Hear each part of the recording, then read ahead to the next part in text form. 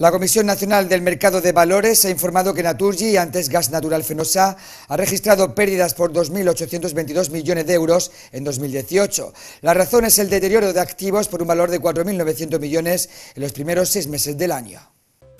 Naturgy registró pérdidas de 2.822 millones de euros en 2018 como resultado del deterioro de activos realizado en la primera mitad del ejercicio, según ha informado la compañía a la Comisión Nacional del Mercado de Valores. Al presentar su nuevo plan estratégico ya anunció esta revisión del valor de sus activos impulsada como consecuencia de la actualización de las principales proyecciones de negocios, lo que supuso un deterioro contable de 4.851 millones de euros. Excluyendo este impacto y otros elementos no recurrentes, el beneficio neto ordinario creció un 57 hasta los 1.245 millones.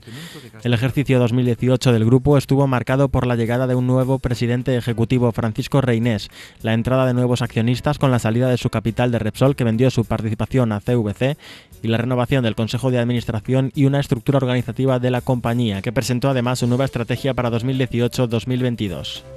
Desde la compañía indican que los resultados de 2018 muestran una evolución positiva de los negocios, pero será durante los próximos años cuando se verá, dicen, una mejora más sustancial a medida que avance la ejecución del plan. Y en constante cambio.